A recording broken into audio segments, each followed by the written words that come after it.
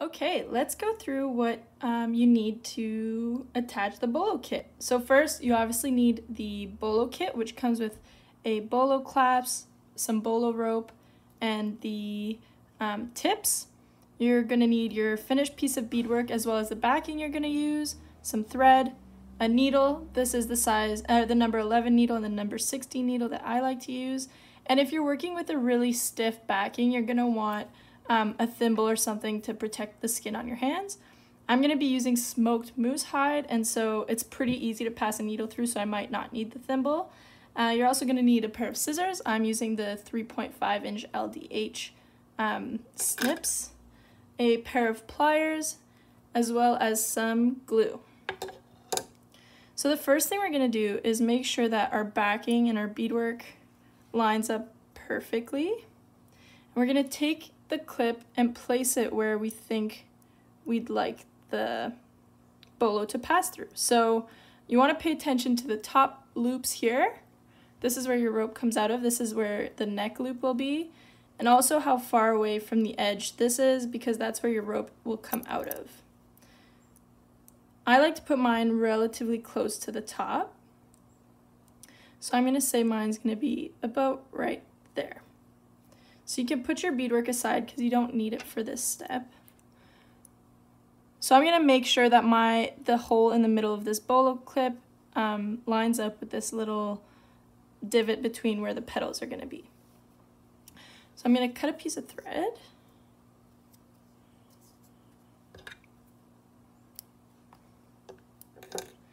Pick up my needle. Pass it through. And I'm just going to tie a knot at the end of my thread.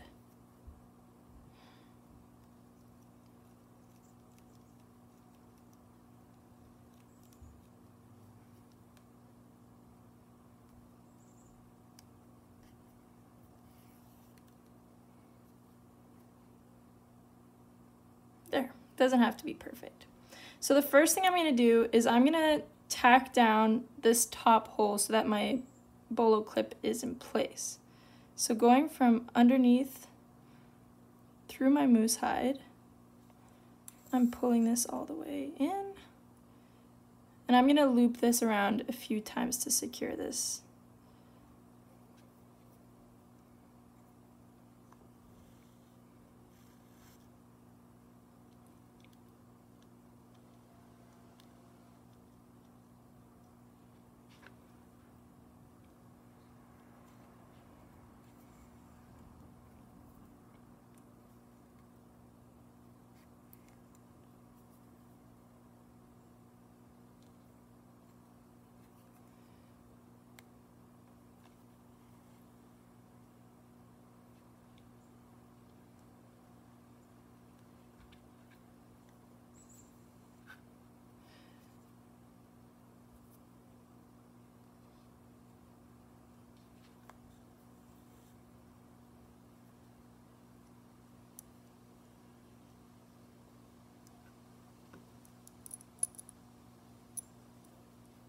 So you want to do it as many times as you want until you feel like it's going to be stable enough. You really don't want it to be wiggly.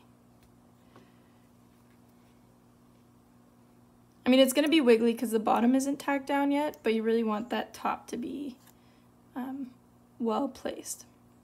So I'm pretty happy with this.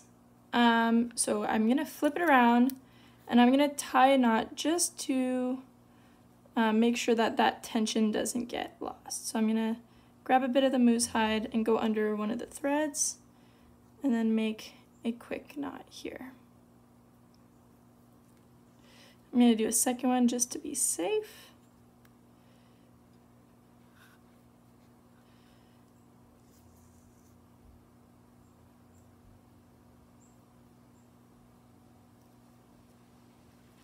There. So that is very much in place. Now if you lift this little piece, you'll see another hole right there. At this point, if you want it to be super sturdy, you can lift this, put a dollop of glue, pin it down, and then sew it down. I don't really want to use glue on this moose hide, So I'm just gonna sew it down the way we did on the other, in the other hole. And notice I didn't cut my thread because this is gonna be in the back of the beadwork, so you're not gonna see this anyways. Um, so yeah, instead of doing another knot, I'm just gonna go ahead and start with this, um, the same thread. So the same idea. At this point, you really want to make sure that your clip is straight.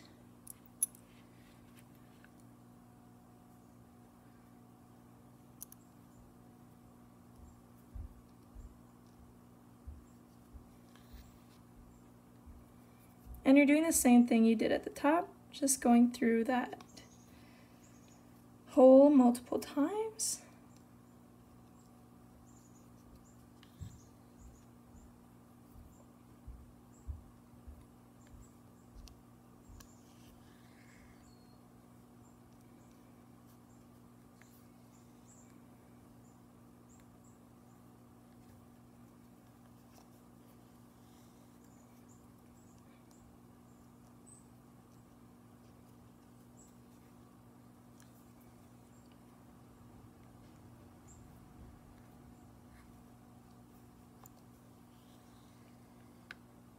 Giving it a good tug, making sure it's nice and tight.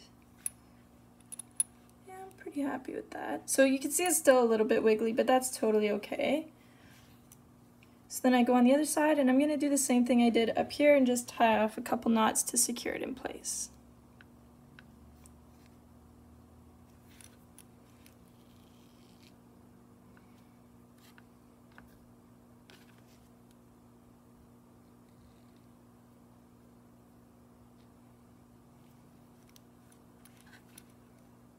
And one more little knot.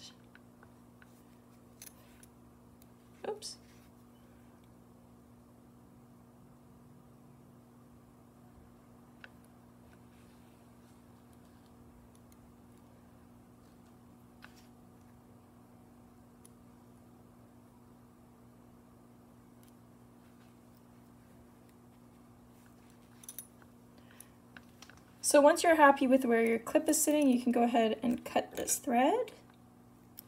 You don't need to cut it super close because again, it's gonna be squished between your beadwork like that. So at this point, this is when I would like to put on my beadwork and edge around it. So I'm gonna go ahead and do that. Okay, so now that my beadwork is fully edged, um, we're ready to add the leather rope. So this is pretty simple. Just lift this little mechanism here, slide the end through, and then under that little flap and do the same thing with the other side. So the reason we sew on um, this finding to the backing instead of sewing it underneath is because this can get really tight and actually damage your rope. So you want the entire finding to be on the outside of your backing. So you can massage the rope so that it doesn't twist as much. So once you have your ropes in here, um, you just close this piece here, which can be a little bit tough, and then your rope isn't going anywhere. So this is how you would adjust it when you're putting it on and off of your head or around your neck. And then we're gonna add the um, tips to the ends of the rope. So for this, you're going to need some glue. I use the E6000 clear.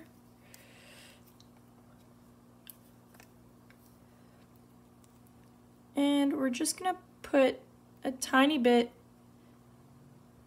inside of each of these findings here.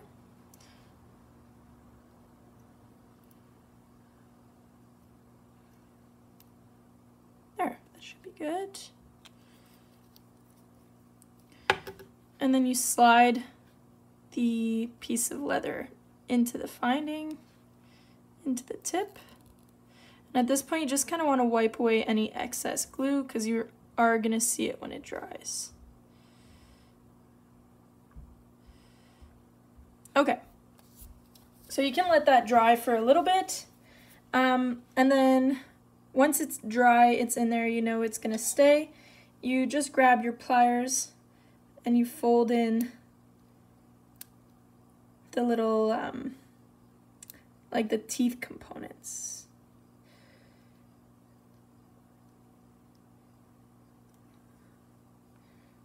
So that it ends up looking like that. So that does extra hold onto your leather rope.